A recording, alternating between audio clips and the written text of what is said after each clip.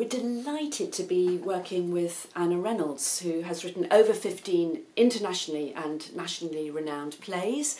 She is an award winning playwright and novelist, and she's also a leader in the field of uh, community engagement.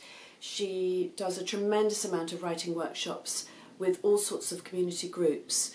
Uh, what is wonderful about working with Anna on this is that the play that she's written for us is really fully based in and rooted uh, in the local.